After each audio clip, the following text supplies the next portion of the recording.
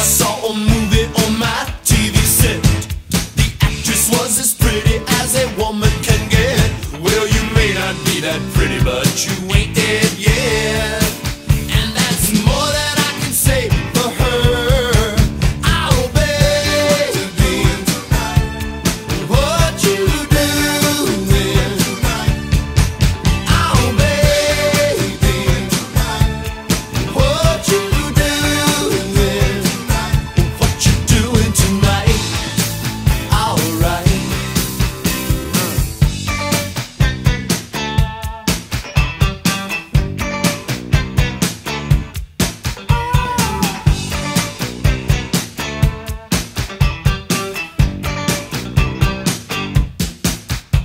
Last night I heard a stranger on my telephone.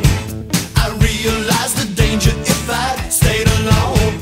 I ended up with her because she was at home.